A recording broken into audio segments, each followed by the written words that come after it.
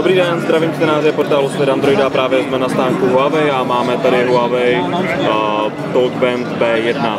Uh, na první pohled je vidět, že to jsou hodinky a uvnitř, když to takhle vycvakneme, tak se jedná o handsfree sadu. Takže tohle to patří do ucha, zde mluvíme. Uh, Výrobce udává, že TalkBand vydrží až 6 dní nabitý při aktivním stavu. Má OLED display o velikosti 1,4 palce, dokáže nahrávat váš spánek a další aktivity, jako je chůze a vůbec, co děláte přes den pomocí něco podobného, jako je Fitbit.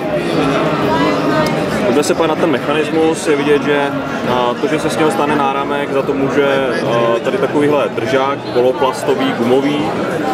Tady se vezme handsfree, které se takto zasune a najednou z handsfree, které nosíme v uchu, máme pěkné hodinky. Musím říct, že na první pohled, přestože tohle jsou prototypy, tak na mě působí trošku nedodělaně, ale uvidíme. To bych nerad předbíhal nebo dělal jakékoliv soudy a může se stát, že se ujmou. Je vidět, že jsou malinko tlustší, než bychom asi čekali.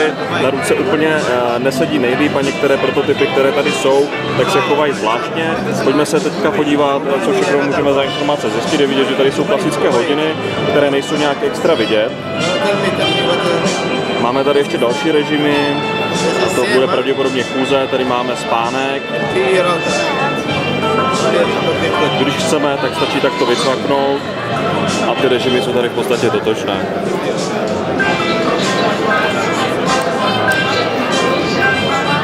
Uvidíme, co nám řekne aplikace to. Talkband se nám nepodařilo spárovat s telefonem, takže si musíme počkat na další informace, které nám prozradí aplikace pro párování s vaším Android zařízením. Takže tohle je ještě jednou Huawei Talkband P1.